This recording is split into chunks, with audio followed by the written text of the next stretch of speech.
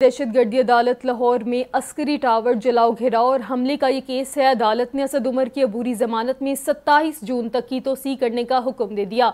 इंसदाद दहशत गर्दी अदालत के जज एजाज अहमद बुटर ने समात की। अदालत ने असद उमर को शामिल तफ्तीश होने का हुक्म दिया। असद उमर अब अबूरी जमानत की मैयाद ख़त्म होने पर अदालत में पेश हुए हैं। इसी पर बात करेंगे शादाब रियाज से।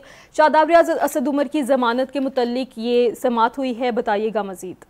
जी, बिल्कुल इंसदाद दहशत गर्दी की अदालत में। अस्करी टावर गिराओ जलाओ केस में अदालत ने असर असद उमर की बुरी जमानत में 27 जून तक तोसी कर दी है।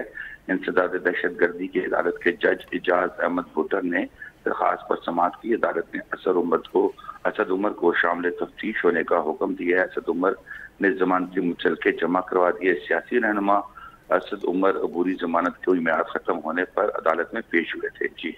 जी, ठीक है, शादाब रियाज, आपने तफसी नगाह किया। आपका बेहद शुक्रिया।